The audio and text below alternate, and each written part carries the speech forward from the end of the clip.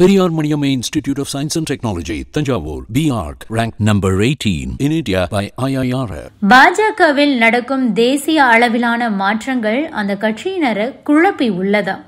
பாஜகவிலேயே அடுத்து என்ன நடக்க போகுது அப்படின்னு தெரியாம நிர்வாகிகள் குழம்பக்கூடிய ஒரு நிலை ஏற்பட்டு இருக்கிறதா சொல்றாங்க.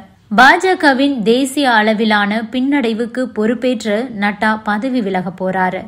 அதே மாதிரி தேர்தலை முன்னின்று கவனித்த அமித்ஷாவும் அமைச்சரவையை மட்டும் கவனிக்க வேண்டும் அப்படிங்கிற உத்தரவோடு ஓரம் கட்டப்பட்டு இருக்கிறதா தகவல் வெளியாகி உள்ளது இனி பாஜகவில் மீண்டும் ஆர்எஸ்எஸ் ஆதிக்கம் இருக்கும். ஆர்எஸ்எஸ் இல்லாம உத்தரப்பிரதேசத்துல கூட ஜெயிக்க முடியாது அப்படிங்கறத பாஜக நிரூபித்து விட்டதாம். இந்த நிலையில தான் புதிய தலைவர் தேர்தலிலும் ஆர்எஸ்எஸ் ஆதிக்கம் இருக்கும் அப்படின்னு கூறப்படுது. பாஜகவின் தேசிய தலைவராக இருக்கும் ஜே பி நட்டா மாற்றப்பட உள்ளதாகவும் தகவல் வெளியாகி உள்ளது நட்டாவின் மாற்றம் கிட்டத்தட்ட உறுதியாகி இருக்கான் நேற்று அவர் அமைச்சரா தேர்வாகி உள்ளார்.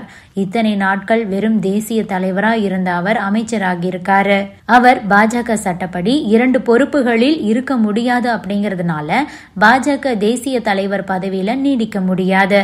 இதுபோக பாஜகவின் புதிய தேசிய தலைவரா மத்திய பிரதேச முன்னாள் முதல்வர் சிவராஜ் சிங் சௌஹான் தேர்வு செய்யப்பட உள்ளதா தகவல் வெளியாகி வந்தது. சிவராஜ் சிங் சௌஹான் மத்திய பிரதேசத்தின் மிகப்பெரிய தலைவர். இந்த லோக்சபா தேர்தலில் இவரும் ஓரம் கட்டப்பட்டிருக்காரு. மோடி நட்டா அமித்ஷா மூலம் பிரச்சாரத்திற்கு கூட கொண்டு வரப்படாமல் ஓரங்கட்டப்பட்டவர் முதல்வர் பதவியும் பறிக்கப்பட்டு வீட்டில் அமர வைக்கப்பட்டிருந்தார். இந்த நிலையில தான் ஆர்எஸ்எஸ் அழுத்தம் காரணமா தற்போது சிவராஜ் சிங் சௌஹான் ஆக்டிவ் அரசியலுக்குள்ள மீண்டும் நுழைந்திருக்கிறாராம். ஆனால் அவரும் தற்போது அமைச்சராகி உள்ளார்.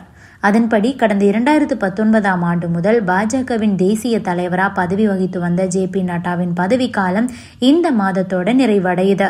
பாஜக கட்சி விதிப்படி கட்சி தலைவரின் பதவிக்காலம் மூன்று ஆண்டுகள். இரண்டாயிரத்தி இருபத்தி மூன்று ஜனவரியில நட்டாவின் பதவிக்காலம் முடிந்த நிலையில மக்களவை தேர்தலையொட்டி மேலும் ஓராண்டுக்கு பதவிக்காலம் நீட்டிக்கப்பட்டது.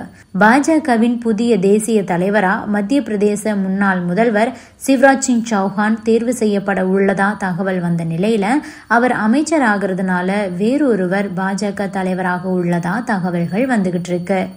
ஆர்எஸ்எஸ் சார்பா ஹரியானா முன்னாள் முதல்வர் மனோகர்லால் கட்டார் அமைச்சராகிட்டாரு. எனவே அவரும் அவுட் இதனால பாஜக தேசிய செயலாளர் வினோத் தாவ்டே பெயர்களும் தலைவருக்கான லிஸ்ட்ல பரிசீலனையில இருக்கிறதா தகவல் வெளியாகி இருக்கு. இது போக ஆர்எஸ்எஸ் மூன்று பேர் கொண்ட லிஸ்ட் ஒன்றையும் தயார் செய்ய போறாங்களாம் அவர்களில் ஒருவர் தான் கண்டிப்பா தலைவர் ஆவார் அப்படின்னு சொல்லப்படுது. இது பற்றி நீங்க என்ன நினைக்கிறீங்க அப்படிங்கிற உங்களுடைய கருத்துக்களையும் சொல்லுங்க.